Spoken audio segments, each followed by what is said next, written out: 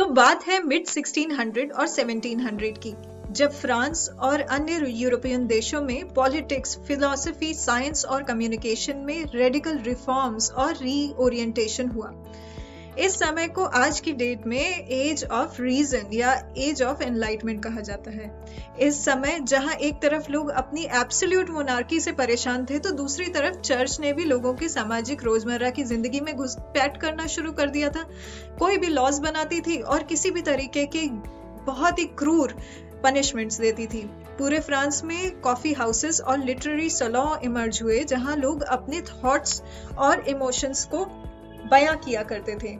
As of enlightenment के एक बड़े विचारकों में से एक थे मोन्टेस्क्यू जिन्हें अपने कुछ इंपॉर्टेंट काम जैसे separation of power and checks and balances की थ्योरी से एक नई सोसाइटी का निर्माण किया। तो चलिए जानते हैं मोन्टेस्क्यू कौन थे। मोन्टेस्क्यू का जन्म जनवरी 18, 1689 में बोर्दू फ्रांस में हुआ। फैमिली बहुत वेल ऑफ़ थी पर सात साल की उम्र में माँ चल बसी। माँ एक नोबल फैमिली से बिलोंग करती थी, इसलिए उनके पास, जाने के बाद उनका जो, उनके नाम पे जो भी था, वो मॉन्टेस्क्यू के नाम पे वेल्थ ट्रांसफ़र हुआ।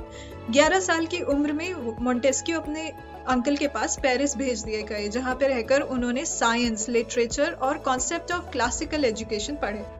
1730 में जब वो खाली 24 साल के थे, तब उनके पिताजी भी चल बसे और तीन साल बाद अंकल भी। तो दोनों के निधन के बाद मोन्टेस्क्यू को एक तगड़ा फाइनेंशियल गेन हुआ। हालाँकि उन्होंने बहुत कुछ लूज भी किया उनके डेथ के बाद, लेकिन ये फाइनेंशियल गेन की वजह से 25 साल की ही उम्र में उन्होंने काफ़ी सारा, ज़्यादा से ज़्यादा टाइम अपनी सोशल स्टडी की थ्योरीज को एग्जामिन करने में लगाया। मॉन्टेस्क्यू एक सेलिब्रेटेड पॉलिटिकल फिलोसोफर की तरह इमर्ज हुए। 1721 में उनकी पहली book the Persian letters market में आई, जो एक सटायरिकल बुक थी। यूरोपियन सोसाइटी के ऊपर एक non European point of view से लिखी हुई। मॉन्टेस्क्यू की ये एक इंस्टेंट सक्सेस थी, पर चर्च को ये बुक ज़्यादा पसंद नहीं आई। इस बुक के चर्च ने कड़ी निंदा की, पर एज अ फिलोसोफर मॉन्टेस्क्यू को एक अच्छा स्टार्ट मिल गया। The spirit of laws public publish हुई 1748 में, जो कि 1751 में चर्च के द्वारा फॉरबिडन बुक की कैटेगरी में डाल दी गई।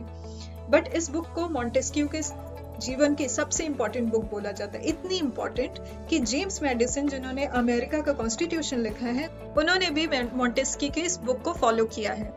मॉन्टेस्क्यू ने द स्पिरिट ऑफ़ लॉज में डाइवर्सिटी के कॉजेस को समझना और समझाने की कोशिश की है। अगर हम ये समझ जाएँ कि इस सोशल डाइवर्सिटी का कॉज क्या है तो हमें अपनी सोसाइटी का टाइप ऑफ़ सोशल फॉर्मेशन भी समझ आ जाएगा। मॉन्टेस्क्यू ने ये बात सोशल टाइपोलॉजी के थ्रू समझाई है। उन्होंने गवर्नमेंट को तीन पोर्शन में डिवाइड किया है रिपब्लिक मोनार्क और डेस्पोटिज्म और इनके डेवलपमेंट के कॉजेस को भी समझाया है। जहाँ रिपब्लिक जिसमें एरोस्टोक्रेसी और डेमोक्रेसी दोनों ही आते हैं, उन्हें एथिक्स से जोड़ा जाता है तो मोनार्की को ऑनर से और डेस्पोटिज्म को नो बेसिक रूल से।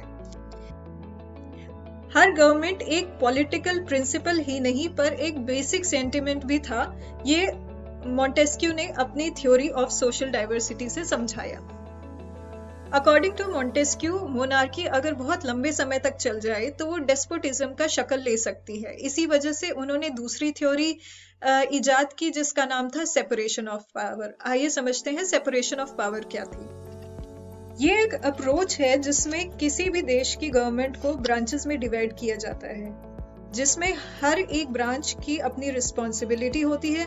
टिपिकली ये तीन ब्रांचेस में डिवाइड किया जाती है लेजिस्लेचर एग्जीक्यूटिव एंड जुडिशरी इसे ट्राई पार्शियल भी कहा जाता है। लेजिस्लेचर जहाँ रूल्स बनाने के लिए रिस्पॉन्सिबल होती है तो एग्जीक्यूटिव रूल को एग्जीक्यूट करना या अप्लाई करने के लिए। और जुडिशरी का काम होता है इन दोनों को लॉज की याद दिलाना।